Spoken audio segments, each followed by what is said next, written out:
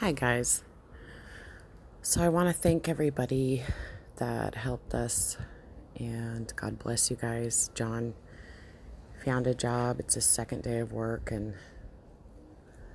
we're still, uh, he has to get steel toe boots, but um, I just want to thank everybody.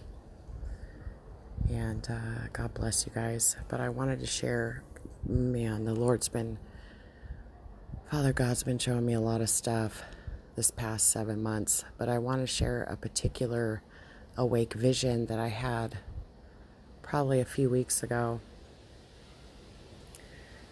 I looked in the eastern sky and I saw these clusters of big, bright stars. And all of a sudden, they started to fall from the sky.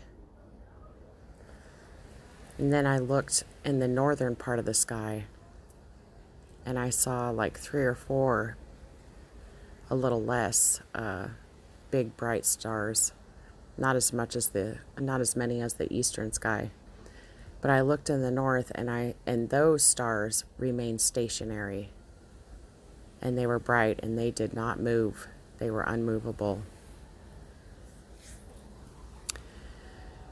And a little few days after that, maybe a week after that, I had a dream that I was looking in the northern part of the sky and I saw four moons that were stationary in the sky. And I saw a fifth moon and it was going across the sky it was rotating and orbiting and flipping out of control so fast. And it was going with the orbit probably from the, let's see, from the east to the, it started in the eastern part of the sky and went to the western part of the sky, I believe, from the east to the west and it was just spinning out of control and orbiting so fast. And as I'm looking at this, I could see behind it in the northern part of the sky, and I saw four other moons stationary and, and just sporadically uh, stationed in the sky. And and a part of the neighborhood I, I was shown that there was a person in the part of the neighborhood and they had this giant flashlight and they were shining it uh, in the on the moons. Like see look. To bring my attention. Okay that just went across the sky. Now look at you know we were both looking at them. I believe what the lord was trying to say. We were both looking at these stationary moons in the sky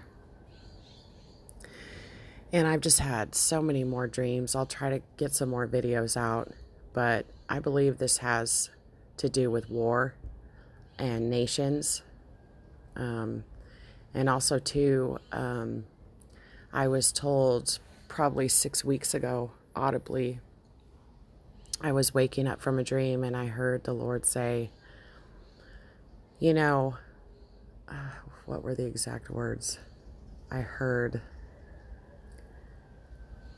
if you can find, oh, this is what I heard. Elon Musk lost his, and I didn't hear what it was he lost. But if you can find it, he will pay your phone bill for three months. and then I went uh, later on uh, that night. I thought, well, I'll just, you know, give it a shot and look up Elon Musk. Well, the day before that, I saw that he, some satellites of his had dropped from the sky. And there were pieces of it in Australia. And it reminded me of that dream that I had. Um, I saw this massive stone in Western Australia and had a sword in it. And people were running around trying to pull this sword from the stone, kind of like King Arthur uh, in Britain.